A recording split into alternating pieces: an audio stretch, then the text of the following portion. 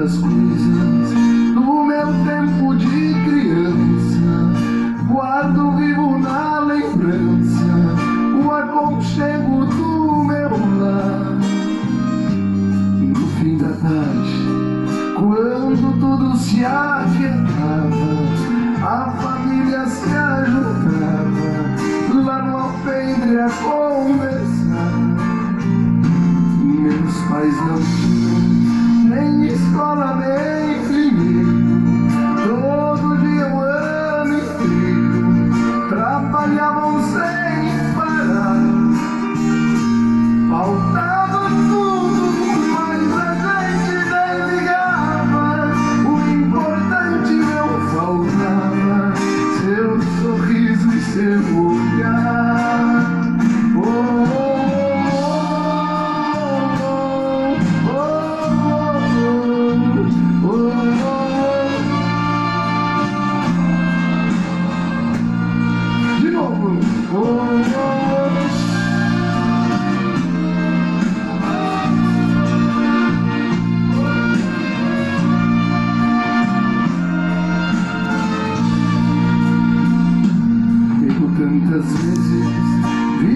pai chegar cansado, mas aquilo era sagrado.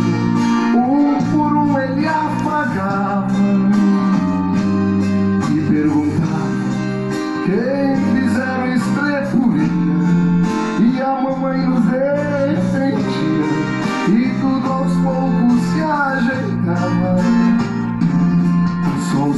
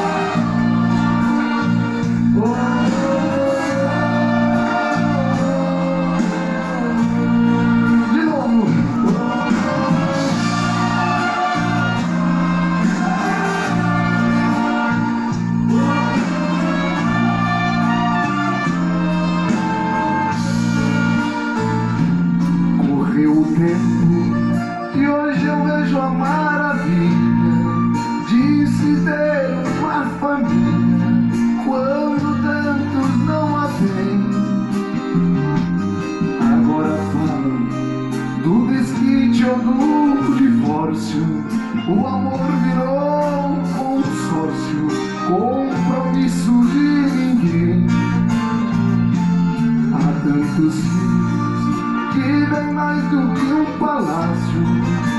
Gostariam de um abraço e do carinho entre seus pais.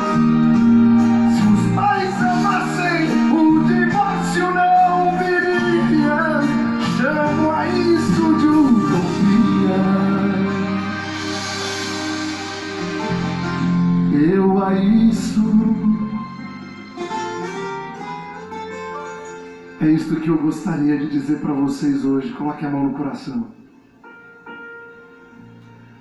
Há tantos filhos que, bem mais do que um palácio, gostariam de um abraço e do carinho dos seus pais. O mundo moderno ensina que para agradar os filhos, o pai e a mãe têm que dar presentes. Então você vai nos Estados Unidos, a primeira coisa que você faz é trazer um iPhone de, último, de última geração. Aliás, é o que todos os filhos pedem. E aí você vai lá e compra caro e dá de presente. Não que ele não mereça, ou que não que ela mere- não mereça. Mas tome cuidado se você, pai ou se você, mãe, está dando presente demais e ficando ausente. Porque quem dá muito presente, muitas vezes está ausente. Eu gosto de usar, por exemplo, uma profissão, por exemplo, o caminhoneiro. O caminhoneiro, o pai que é caminhoneiro, fica o tempo todo na estrada. E ele sempre compra um presentinho na estrada e quando chega em casa para ficar um dia ou uma noite, aí dá o presente para a mulher ou para o filho ou para a filha. É legal. Poxa, quando você ganha um presente, você logo pensa, Fulano lembrou de mim. Quem é que não gosta de ganhar presente? Até eu. Tem terça-feira aqui que quando não vem presente eu volto triste para casa. Volto. Fico pensando, meu Deus, essas velhas estão ficando cada vez mais miseráveis. É. Eu gosto. Só que o melhor presente é vocês serem presentes. Quando vocês estão presentes aqui, eu fico feliz. Então há tantos filhos que bem mais do que um palácio gostariam de um abraço e do carinho entre seus pais. Porque tem pai hoje que não dá um abraço no filho, porque tem vergonha. O filho às vezes é até é maior do que o pai, tá grandão. Aí pensa, pai, pega na mão assim.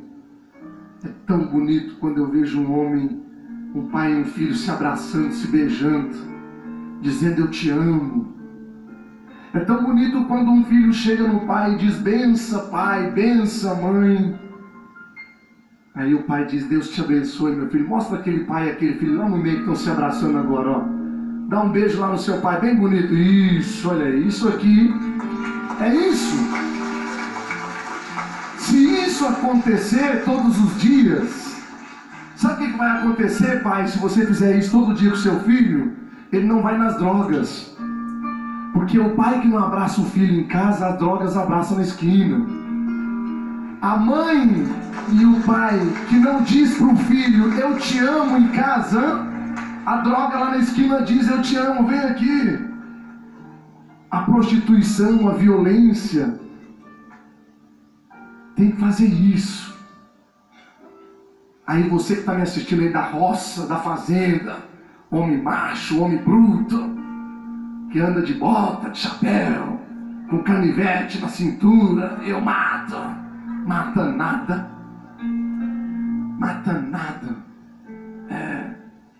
Deixa de ser grosso, deixa de ser ignorante não se educa um filho com canivete, com reino, com surra. Se educa com carinho, com amor, com diálogo. Sabe por que muitos filhos estão perdidos hoje na rua, nas drogas, na prostituição, na violência, na estrada, nas praças, nas baladas, nas esquinas? Porque não tem em casa. Tem até aquela música que eu gosto do. O que eu não tenho é em casa, ah, eu encontro em outros braços, até parece. Dá dar um abraço. Quem não tem